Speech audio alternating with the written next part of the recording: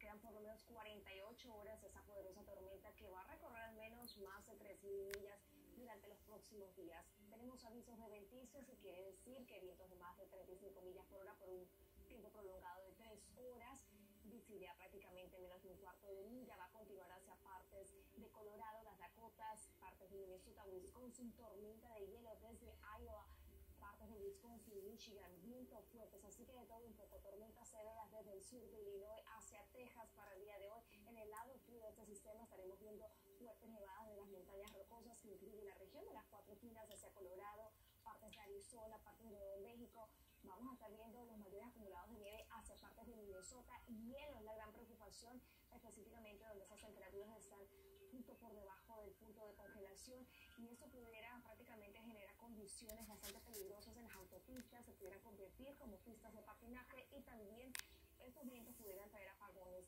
Esta se de la costa este del país a partir del viernes por la mañana. A esta hora, más de 7 millones de personas desde Texas a Illinois se encuentran bajo la amenaza del tiempo severo. Y ese es el mismo sistema que está trayendo nevadas intensas y hielo hacia el área de los grandes lagos. Y sí, va a estar trayendo ese alto riesgo de tiempo severo. Pero no solamente estará trayendo también esas condiciones invernales, sino temperaturas congelantes. Vean esta noche cómo se va a sentir hacia el norte del país, bajo cero, mientras que en la Florida esas temperaturas en los 80 grados por lo menos